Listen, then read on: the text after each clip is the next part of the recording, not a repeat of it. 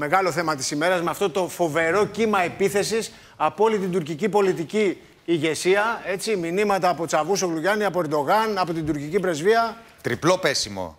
Τριπλό. Για την εθνική μας γιορτή. Ναι, ε, όταν λέμε πέσιμο το λέμε με την καλή έννοια του όρου, γιατί είναι κάτι που δεν το περιμέναμε, η αλήθεια είναι. Και ειδικά ανήμερα 25 Μαρτίου, όπου υποτίθεται ότι εμείς ε, γιορτάζαμε την ε, απελευθέρωσή μας απελευθέρωσή μας από τον Οθωμανικό ζυγό, να έρχονται οι Τούρκοι κατά κύματα και να στέλνουν επιστολές και δημόσιες δηλώσεις ε, χρόνια σας πολλά ε, και μπράβο σας και τι Για καλά την που ημέρα είστε ανεξαρτησίας. και να έχετε και υγεία και να είναι καλά οι οικογένειές σας και τα παιδιά σας και τα λοιπά.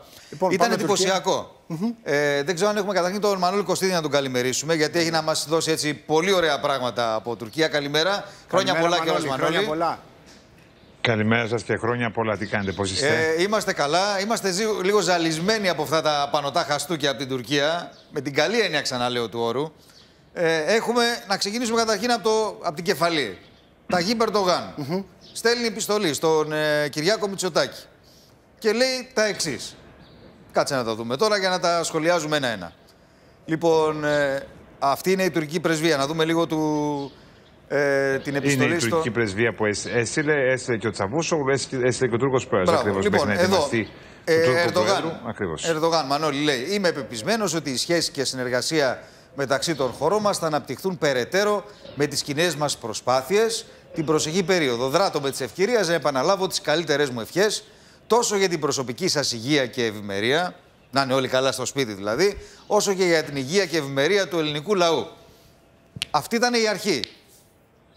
Ο Ερντογάν. Ωραία. Έρχεται ο Τσαβούσογλου λοιπόν και στέλνει άλλη επιστολή. Αλλά περίπου με τα ίδια λόγια. Δηλαδή δεν αλλάζει κάτι στη φρασιολογία, Να, στη εδώ λογική. είναι. Είναι. αυτή η επιστολή. Υπογραφή Τσαβούσογλου. Ευχές, ε, χρόνια πολλά, να έχετε υγεία, ευημερία. Ευχόμαστε στην περαιτέρω εμβάθυνση των ελληνικών σχέσεων. Είμαστε γείτονες, είμαστε φίλοι. Και χρόνια πολλά για την εθνική σας εορτή, έτσι. Ναι. Και έρχεται και μετά η τουρκική πρεσβεία με αυτό που ήδη είδαμε, την ελληνική σημαία και να λένε και αυτοί χρόνια πολλά και ευελπιστούμε σε καλύτερες σχέσεις μεταξύ... Αυτό και αν είναι εντυπωσιακό, έτσι, Ναι, σαν εικόνα. Με ελληνική σημαία. Μανώλη, αυτά είναι, είναι πρωτόγνωρα πράγματα. Η αλήθεια είναι. Ε, α, εγώ αυτά δεν τα θυμάμαι ούτε το 1999 τόσο έντονα. Δηλαδή μετά τους σεισμούς ε, του 1999 υπήρξαν προσπάθειες πολύ σοβαρές για την επαναπροσέγγιση των δύο χωρών. Ωστόσο το, για την 25η Μαρτίου που είναι και μια ευαίσθητη ημέρα για, για την Τουρκία γιατί ε, είναι η επανάσταση, η ελληνική επανάσταση προς τον Οθωμανικό ζυγό και εκεί νομίζω τα πράγματα αλλάζουν αλλά φαίνεται ότι έχει, έχει ληφθεί τέτοια απόφαση από την πλευρά της Τουρκίας για τη μεγάλη στροφή των ε, ε, 180 μοιρών και όπου ακόμα και την 25η Μαρτίου έστειλαν αυτά τα μηνύματα. Ευπρόσδεκτα, όπω καταλαβαίνουμε, από την ελληνική κυβέρνηση, διότι πριν από λίγες εβδομάδες η Τουρκία ήταν αυτή που έλεγε ότι μια νύχτα θα έρθει ξαφνικά ή ότι θα, θα εκτοξεύσει ταϊφούν. Τώρα φτάνουμε στο σημείο ε, αυτό. Ε, τώρα, Αυτό για δημιουργεί ποιο λόγο; προηγούμενο τώρα, έτσι. Πρέπει να στείλουμε και εμείς τον Αύγουστο. Επιστολές αντίστοιχες. Ε, τώρα δεν ξέρω τι θα κάνει η τότε η ελληνική κυβέρνηση. Αυτό θα το δούμε. Να σου πω μέχρι τον Αύγουστο. το λέω εγώ, ρε παιδί, πριν για- από για δύο ιστορικούς μήνες. λόγους Να- το να- λέω. να- Περίμενε, περίμενε. περίμενε. Έχεις δίκιο, αλλά πριν από δύο μήνες, αν λέγαμε. Πριν από έτσι όπως βγαίναμε στον αέρα. Και σας έλεγα για τον ταϊφούν που θα, θα εκτοκτεύσει στην Αθήνα. Ή ε, ή Μητσοτάκης δεν υπάρχεις για μένα. Yok. Ή θα έρθουμε μια νύχτα ξαφνικά στα νησιά. Ή θα να φύγουν τα στρατεύματα από τα νησιά που έλεγε η τουρκική ηγεσία. Σε δύο μήνες είδατε πώς αλλάζουν τα δεδομένα. Άρα μέχρι τον Αύγουστο να δούμε, να είμαστε καλά, να έχουμε την υγεία μας, να, να έχουν ολοκληρώσει και οι δύο χώρες τις εκλογές τους, να εκλέξουν τις ηγεσίες τους και από εκεί πέρα. Βρε μέχρι τον Μανώλη, Αύγουστο, να σου 30 κάνω μια Αυγούστου, ερώτηση εγώ που μου, μου έχει γεννηθεί απορία από χθες που διαβάζω αυτές τις επιστολές και τις αναλύσεις. Αυτό η τουρκική κυβέρνηση γιατί το κάνει; Έχει στο νου της κάποιες κρυφές δημοσκοπήσεις που δείχνουν ότι ο τουρκικός λαός θέλει να πλησιάσει τον ελληνικό; Μήπως είναι γιατί όχι, όχι, χρειάζεται δεν τη είναι θέμα. βοήθεια από τη Δύση; Γιατί βλέπουμε ότι είναι μεγάλη θέμα αγάπη. Δημοσκο- Δεν είναι θέμα δημοσκοπήσεων, αλλήμωνο. Είναι θέμα ε, μιας πραγματικότητας που η τουρκική ηγεσία το έχει καταλάβει εδώ και αρκετό καιρό και όχι μόνο με την Ελλάδα, με όλες τις χώρες περιοχής. Δηλαδή, ήταν η χώρα που είχε, ε, θεωρούσε εχθρούς και εξέφραζε την, ε, αυτή την άποψη και για το Ισραήλ και για την Αίγυπτο και για τα Ηνωμένα Αραβικά Εμμυράτα και για τη Σαουδική Αραβία και σιγά σιγά όλοι έγιναν καλοί.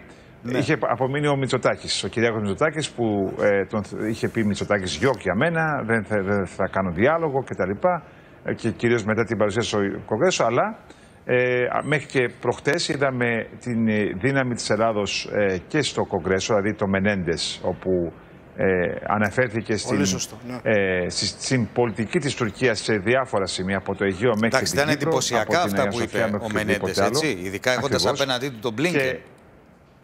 Και, και, αντι- και φαίνεται ότι έχει, υπάρχει μια γραμμή ξεκάθαρη από τη Δύση και από τις ΗΠΑ πως για να γίνει η σοβαρή επαναπροσέγγιση με τη Δύση χρειάζεται και μια σοβαρή επαναπροσέγγιση με την Ελλάδα. Και έγινε πολύ σοβαρή σε επίπεδο τουλάχιστον συμβολικό από την τουρκική ηγεσία. Πράγματι, ε, αυτό που έκανε χθες ο Τούρκος Πρόεδρος είναι τεράστιο βήμα σε επίπεδο πολιτικό. Από εκεί πέρα βεβαίως χρειάζεται και, συ- και πράξεις, αλλά νομίζω οι πράξεις, αν θα γίνουν, θα γίνουν μετά τις Γενικώς εκλογές. έχει και αν κάνει βεβαίως θα επανεκλεγεί ο, Ο Τούρκος Ερντογάν πρόεδρος. έχει κάνει όντως εντυπωσιακά πράγματα. Δηλαδή, μην πάμε πολύ μακριά. Πριν από μία εβδομάδα ήταν.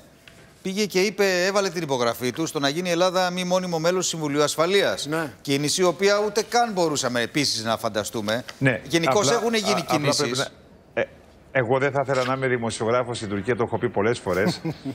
ε, Φιλοκυβερνητική παράταξης, διότι σκεφτείτε τους δημοσιογράφους τώρα που και, το, και, και, και στελέχη του Υπουργείου Εξωτερικών που ε, ε, ανα- έβγαζαν ανακοινώσεις για την ε, σφαγή στην Τριπολιτσά, όπως έλεγαν οι ίδιοι. Ε, Όπως οι, οι δημοσιογράφοι που υποστήριζαν τον κακό Μητσοτάκη, την Ελλάδα που θέλει να εισβάλλει στη Σμύρνη και οπουδήποτε αλλού από τα ελληνικά νησιά, τώρα πια θα πρέπει να κάνουν τη μεγάλη στροφή και αυτοί, ακολουθώντας την ηγεσία. Θα λένε πόσο καλός είναι ο Μητσοτάκης. Ε, ε, φαντάζεσαι. το φοβερό θυμάμαι ξέρεις ποιο είναι, επίσης, Γιάννη. θυμάμαι, εγώ επειδή έχω ένα κακό, θυμάμαι.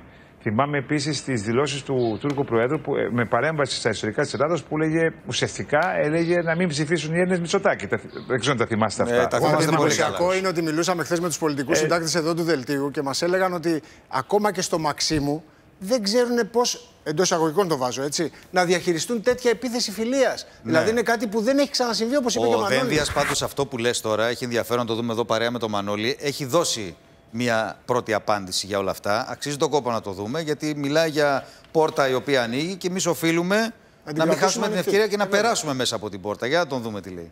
Και, να πούμε, και να πούμε Λέω ότι εδώ υπήρξε ένα παράθυρο ευκαιρία.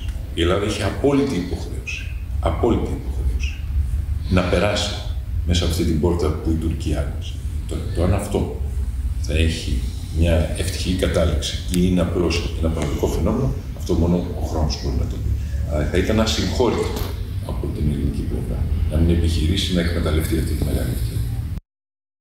Πόρτα, έτσι. Μιλάει για πόρτα ο Δένδιας Μανώλη, που έχει Βεβαίως. ανοίξει από την Τουρκία και εμείς πρέπει να περάσουμε. Οφείλουμε να περάσουμε, λέει μέσα.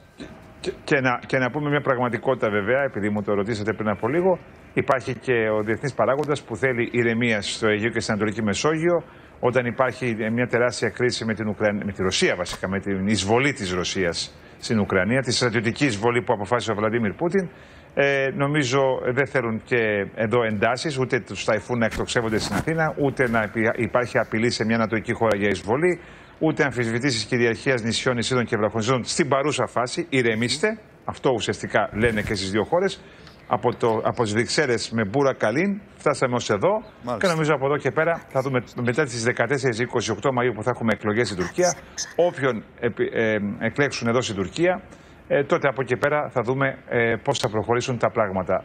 Μέχρι τις εκλογές τουλάχιστον αυτό νομίζω ε, θυμά, θυμάστε ε, πέρσι ο Κυριάκος Μητσοτάκης είχε εκφράσει και τις ανησυχίες του αν θα, αν θα υπάρχει υπηρεσιακή κυβέρνηση με τέτοια ένταση με την Τουρκία. Ναι, βέβαια. Υπήρχε ζήτημα.